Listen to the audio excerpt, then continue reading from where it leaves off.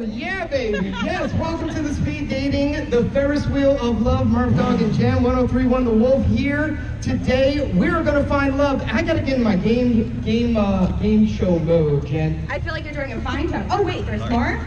Oh, this is a surprise. Nobody expected this. Look at you! Whoa! Now I'm ready. Now he's ready. Who's out there ready to find love, huh? That's right. We're gonna get you on the gondolas right now, and uh, let's see if we can make a love connection. Come on. I'm ordained. I'm about to marry them. Just kidding. Don't mind us.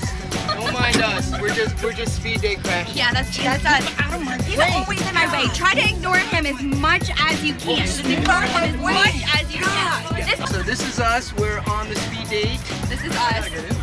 Don't mind us. We're Yeah. just videotaping. We're not really here, but we're here. Go ahead. We're not here, so. Carry- How'd carry you- how'd on. you get picked?